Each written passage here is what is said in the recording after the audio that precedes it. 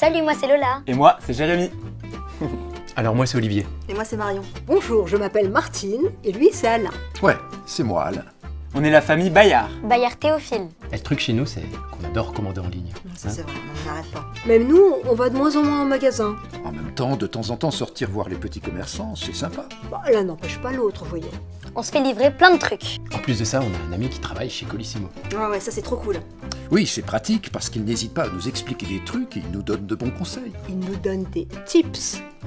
Comme ça, dès qu'on a un problème, Bah on en a plus. Parce qu'ils communiquent avec les sites sur lesquels on fait nos commandes. C'est pratique. Et tout ça grâce à qui? Ouais, grâce à qui Hein? Grâce à Colissimo. C'est pas grâce à moi. Non. C'est grâce à Colissimo. Merci Colissimo. Donc, merci. Colissimo. Colissimo.